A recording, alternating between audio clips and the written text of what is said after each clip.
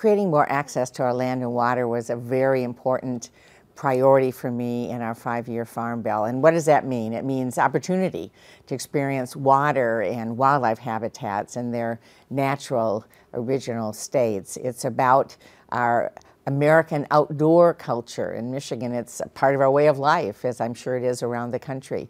Our connection to the land, in Michigan, we have more hunters than any other state. We have fishermen. We have people who are out every day enjoying the outdoors. That's what it's about.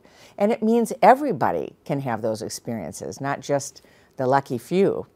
And also importantly, access means conservation, that we care about our land and water so that others can experience it today and tomorrow. We have a responsibility together to make sure we're not just enjoying the beauty uh, and the opportunities that our uh, wildlife and our outdoors gives to each and every one of us, but that our children and grandchildren have the same experience.